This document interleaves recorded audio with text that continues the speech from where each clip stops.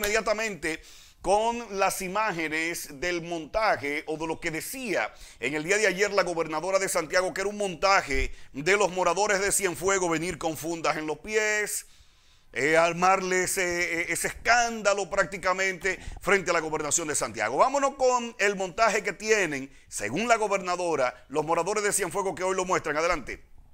montaje. Y el coronavirus está peor que esta mierda, coño. Estoy cansado de esta mierda. Ese, ese montaje, que venga entonces. El montaje de la gobernadora. Esas son excusas. Bueno, vamos a ver.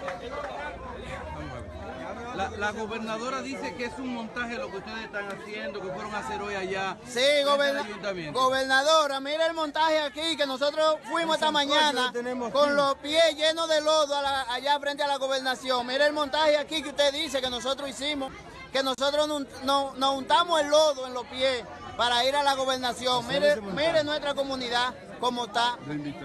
La invitamos para que usted venga, que no es un montaje que nosotros estamos haciendo, es que nosotros tenemos necesidad de que usted mande a arreglar esta calle a los ingenieros de obra pública, al gobierno, a quien sea, que vengan en auxilio de nosotros, que nos estamos hundiendo en lodo. Y no le diga a la gente que somos menti- mentirosos, porque nosotros somos los que estamos pasando en la comunidad. Ah, oiga, señora gobernadora, háganos el favor, si usted puede, con Dios adelante y, y usted atrás. Venga a auxilio de nosotros, que nosotros lo necesitamos porque ya estamos cansados del lodo y del polvo en esta comunidad. Venga un día de sorpresa cuando esté lloviendo entonces, para que nadie sepa que usted vino con una, una, una jipeta y venga para que usted vea si es verdad o mentira. Porque nosotros lo necesitamos.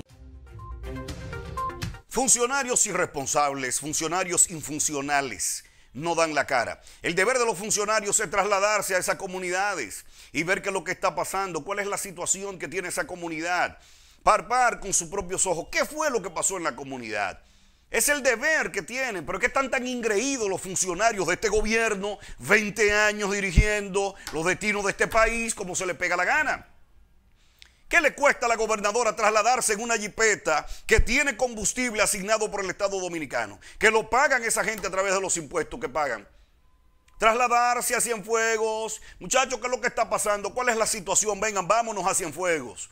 E ir allá. Tiene un área de relaciones públicas que tienen cámaras para que le tomen fotografías y videos y enviársela al presidente de la República.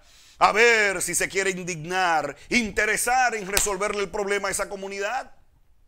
Pero no la actitud que asumió la gobernación de Santiago de decir su gobernadora, eso es un montaje. Yo vivía en un callejón, mis padres son de Licey al medio. Todavía hay callejones, así mismo, gobernadora, en el municipio de Licey al medio, con la misma situación.